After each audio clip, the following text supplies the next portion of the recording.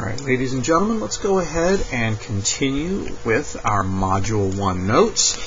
Start the same way we always do. Name and number in the top corner, please, top right-hand corner. And again, these will be our Module 1 notes. Our Module 1 notes. There we go. Today we're on Lesson 1-9. 1-9. We are adding with decimals. Adding with decimals is a lot like adding with whole numbers. We just have to be very careful with that decimal point and the decimal places. Since this is lesson 9, we'll put a Roman numeral 9, which is actually kind of like 10, but one less. One less than 10. That's going to be our Roman numeral 9. Okay. One smaller than 10. We will begin with some vocabulary, vocabulary that I hope you have heard before and remember. I know some of these things we have already discussed, but again, I want to make sure that you have it on this page to refer back to when you are doing these activities. First word we're going to talk about is sum. Sum. The sum is the answer to an addition problem. And since we're going to be adding, we're going to be talking about sum a lot. Adding, your answer is going to be the sum. You get a different response if you do a different operation. Okay? So the sum is the answer to an addition problem. Most of the numbers that we're dealing with, most of the problems we're going to work on, you're going to be writing numbers in standard form. Standard form. Okay? And this is just the common way the common way, what you would probably consider the normal way the common way to write a number. The common way to write a number. Basically, digits only. We're not stretching anything out and writing value like we do in expanded form, and we're not going to use words, we're going to use word form. We're just going to write 115. Okay. Could be a whole number, could be a decimal. Whatever it is, you're just going to write the digits. Okay, that's standard form. And our last little bit of vocabulary for today. This is, I'm going to give you a fancy phrase for a real basic thing. Sometimes in math, you'll hear us talk about using the standard algorithm the standard algorithm. Fancy. Whether it's addition, subtraction, multiplication, or division, the standard algorithm is a very fancy mathematical way of saying the step by step, step by step way to solve to solve a math problem.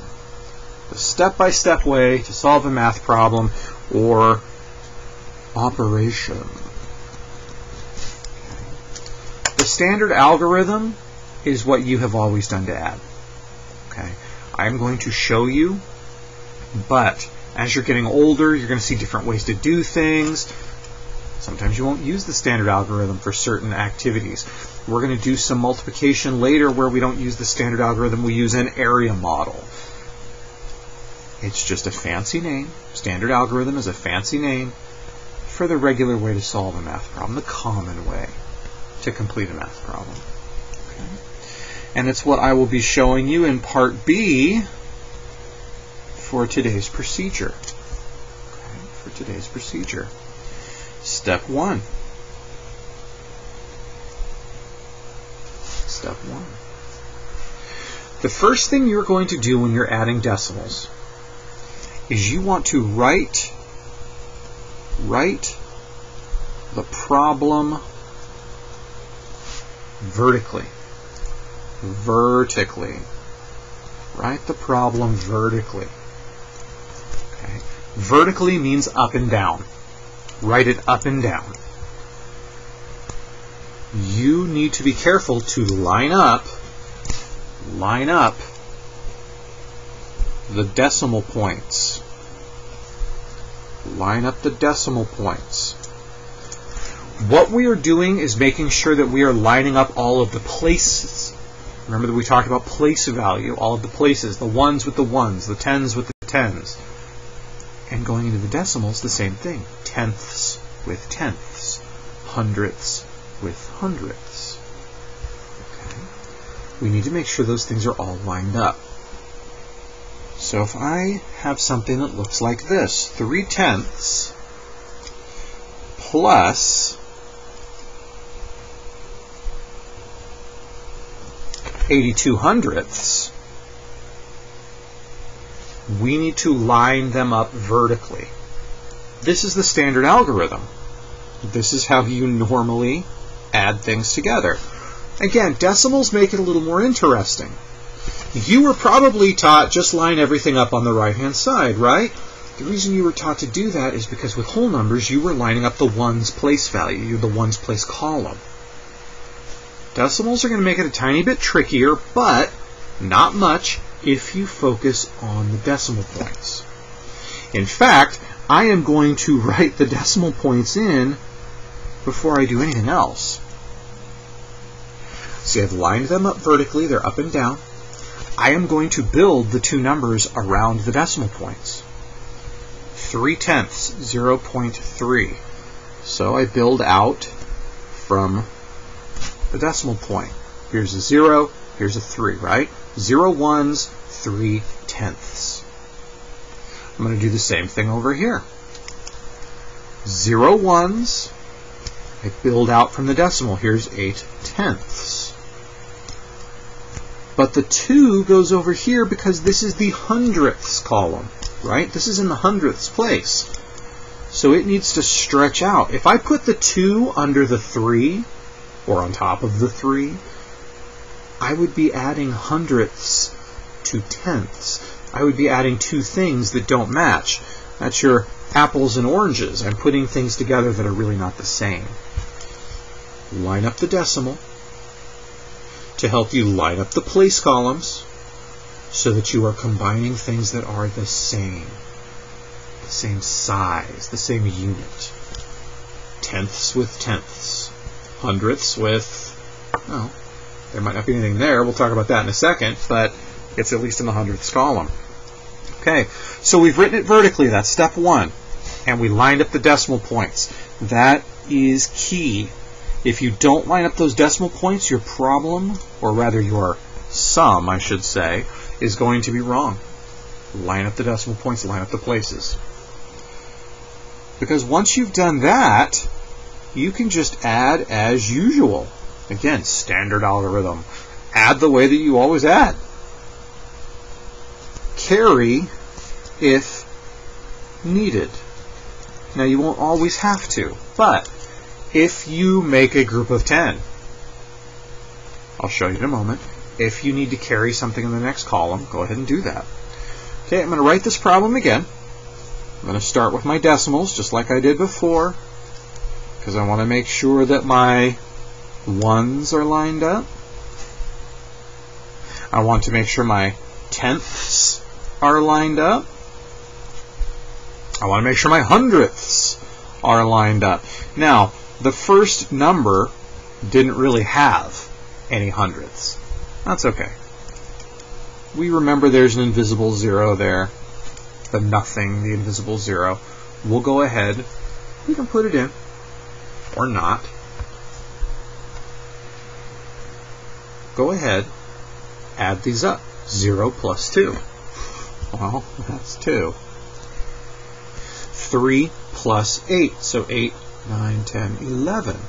Okay. Now I can't shove 11 in here. If I have 11 tenths, then what that really means is I made one whole. So I'm carrying it up here. Put the other one here. So I had one tenth left over. The ten tenths come up here and make a whole. One plus nothing plus nothing is just one. Now, this is going to be our step three, but I'm going to do it now anyway. You need to bring the decimal straight down. Bring the decimal straight down. And I will write that. You will write that, please, for step three. Okay. Step three. Drop the decimal point. Drop the decimal point straight down. Straight down. Now, this is only for adding and subtracting. When we get into multiplication and division and things like that this year, which are super fun and exciting, it will be a little different. But for this, drop the decimal point straight down. So, that decimal, down, down, down straight down. Drop the decimal point straight down. And again, that three step process is pretty much it. That's all. I'm going to give you a couple of examples. We're going to look at them together. But really, that's it. That's what you're doing. The algorithm, the standard algorithm, it's the same thing you've always done. This is probably the big change. Line up the decimal points.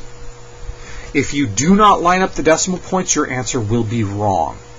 If I had lined these up just on the right-hand side, this would be 0.83. It would be way too small. It would be wrong.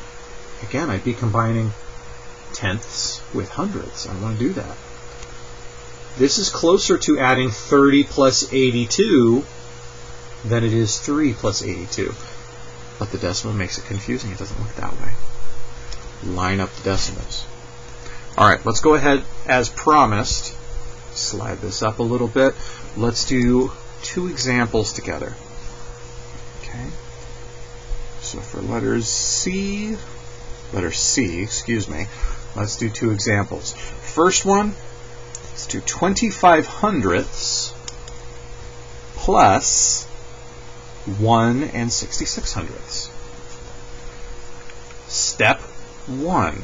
Oops, there we go. Getting low to the pay or low to the bottom here. Always go back and look at the steps. That's why we take the notes. That's one of the reasons why, anyway. Please make sure you look back. Step one, write the problem vertically. Line up the decimal point.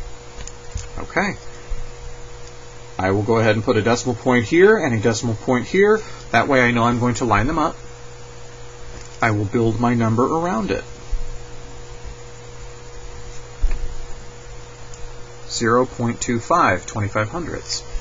1.66, 1 and 66 hundredths.